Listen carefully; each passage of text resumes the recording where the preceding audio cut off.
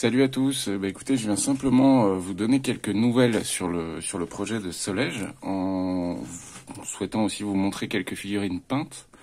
Euh, donc là, par exemple, sont les versions, euh, j'allais dire officielles, à savoir en 28 mm, des figurines de miliciennes que j'ai peint assez rapidement. Donc évidemment, il y a moyen de faire beaucoup beaucoup mieux, mais encore une fois, là, le but c'était d'avoir un régiment de prêt pour vous montrer le rendu une fois le régiment complet de peint.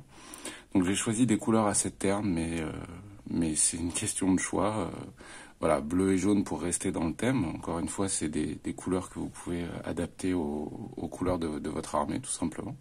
Pour ce qui est des socles, là, j'ai utilisé de la carte plastique. Tout ça est aimanté et j'ai fait ça sur des socles de la taille de, Kings of War. Donc on est à 10 cm de front par 2 cm de profondeur. Et bah, l'avantage, c'est qu'en les, en les adjoignant les unes aux autres, là, on a une unité. Et du coup, là, on a un régiment. Donc tout ça est monté, hein, donc je peux faire ça sans trop de problèmes.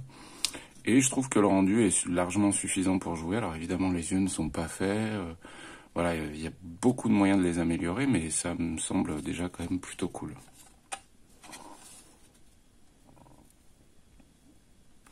Ensuite, je voulais vous montrer euh, bah ça, c'est les, euh, animations euh, euh, qui pourront peut-être être débloquées. Je ne sais pas, on verra ce que ça donne. Ce qui est sûr, c'est que les fichiers 3D ont, sont crash testés.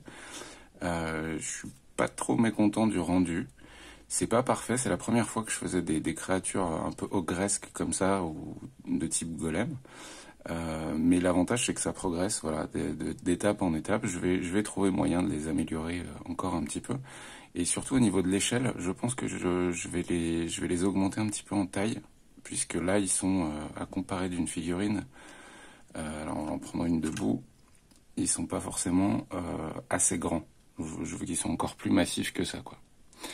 Euh, mais voilà à peu près le rendu. Ce sur quoi il faut que je continue de travailler, c'est euh, leurs armes. Je vais essayer de les, les chiader un petit peu plus quand même avec un peu plus de, euh, parce que l'idée c'est qu'ils soient qu'ils aient la peau euh, noire, donc très foncée, pourquoi pas avec des reflets bleutés ou violets, et euh, qu'ils aient pas mal de doré. Donc ça c'est les animations. Là c'est histoire de vous montrer une cavalière qui a été imprimée donc en 28 mm. Donc là avec son petit étendard. Donc je trouve que c'est plutôt cool.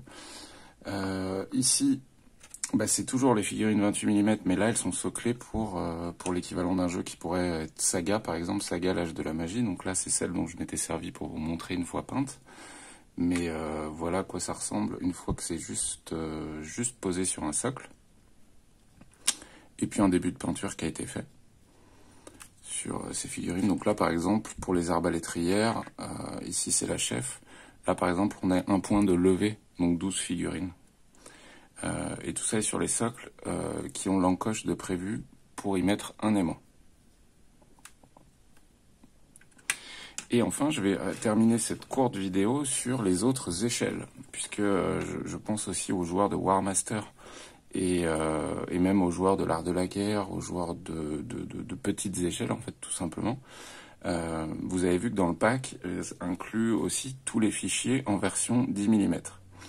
Donc là, par exemple, on a la version 10 mm. Alors c'est tout petit dans ma main, hein, c'est vraiment minuscule. Euh, là, par exemple, on a, vraiment l'échelle parfaite pour jouer à War Master euh, ou euh, n'importe quel autre jeu en 10 mm, tout simplement. Et j'ai eu pas mal de demandes récemment aussi sur la version 15 mm. Et la version 15 mm, je suis un peu bluffé de, de la qualité. Je les trouve quand même vraiment très très cool en fait, elle me donne envie de les peindre. Euh, vraiment, peut, peut-être plus que d'autres figurines 15 mm.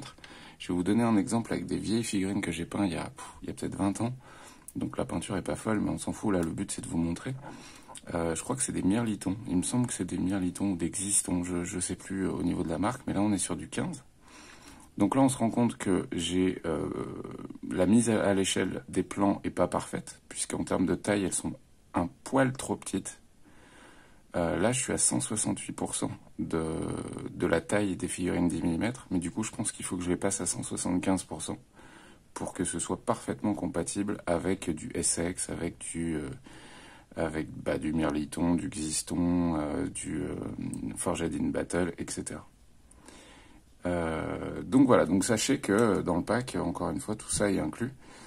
Et je suis, je, je, tiens à vous préciser que tous les plans 10 mm, donc et 15 aussi, ne sont pas les mêmes plans de figurines. En fait, je me suis servi de la même base euh, de figurines euh, que 28 mm, sauf que j'ai beaucoup retravaillé l'épaisseur, parce que sinon ça pose d'énormes problèmes en impression 3D. Donc globalement, elles ont des plus grosses têtes, elles ont une, euh, une albarde beaucoup plus épaisse. Pareil pour le bouclier, elles ont des seins un peu plus prononcés pour qu'on les voit un petit peu plus. Pareil pour ce qui est euh, du bas des jambes, des, pieds aussi qui sont un peu plus gonflés. Enfin bref, elles sont forcément plus BD, euh, mais euh, c'est en règle générale ce qu'on trouve sur des toutes petites échelles. Donc voilà, donc je tiens encore à tous vous remercier là pour le soutien que vous faites à ce, à ce projet. et puis bah, il doit rester à peu près 4 jours, donc continuez à, le partager. Merci à tous, puis, puis à très bientôt. Ciao